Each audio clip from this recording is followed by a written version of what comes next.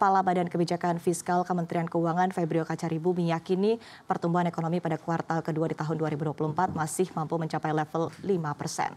Ada sejumlah faktor pendorong perekonomian pada kuartal kedua ini. Febria mengatakan meskipun kondisi global masih menantang, BKF melihat masih ada faktor pendorong yang berasal dari dalam negeri. Menurutnya pada kuartal kedua ini masih ada dorongan dari belanja pemerintah. Selain itu aktivitas ekspor juga mulai membaik pada kuartal ini. Ia juga mengatakan pemerintah melihat sektor manufaktur masih terlihat ekspansif.